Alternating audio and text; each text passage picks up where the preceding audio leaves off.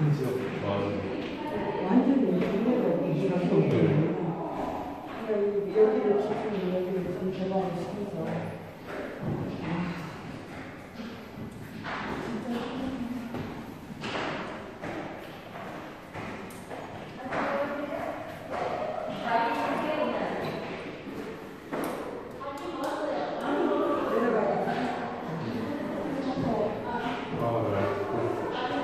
그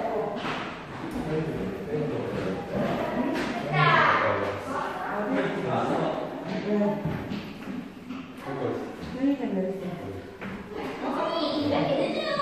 나가는 게 없잖아. 내려가.